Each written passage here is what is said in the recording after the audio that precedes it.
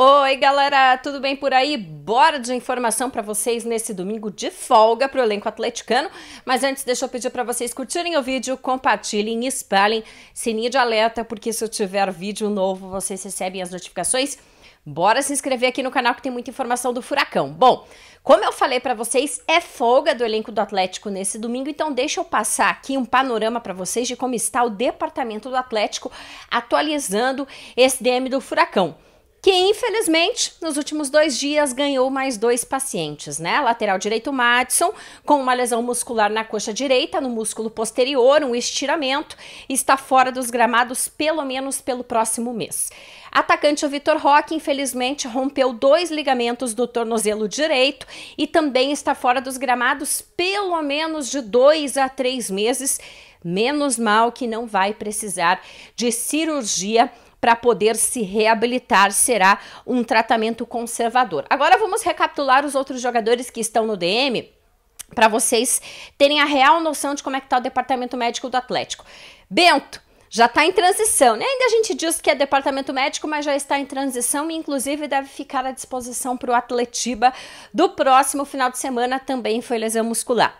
Christian, esse vocês vão ter que ter um pouquinho de calma, porque realmente foi um grau um pouco alto da lesão muscular do jogador. Estava programada a transição para ele no começo dessa semana que se passou, mas não aconteceu. Nos próximos dias, finalmente, essa transição deve acontecer.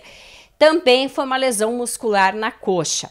Fernando, lembro, infelizmente rompeu o ligamento do joelho, o departamento médico desde o mês de junho, retorno previsto só para o ano que vem.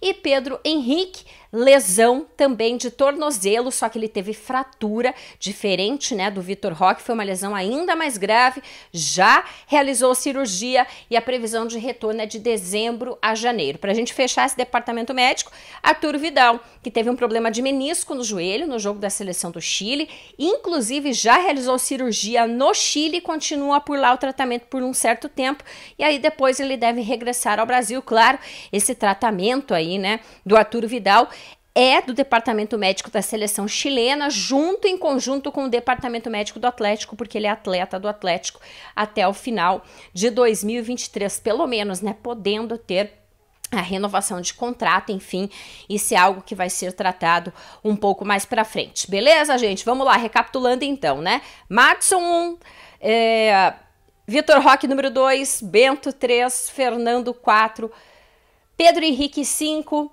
Christian 6, Arturo Vidal 7, são sete jogadores no departamento médico. Esperamos né, que o quanto antes eles possam retornar aos gramados.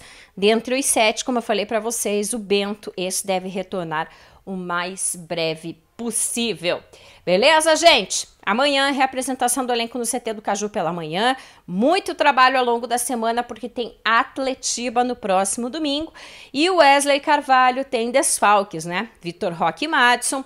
Vitor Bueno e Pablo suspensos. Em contrapartida, volta Hugo Moura de suspensão. E o Bento deve ficar à disposição para a meta atleticana.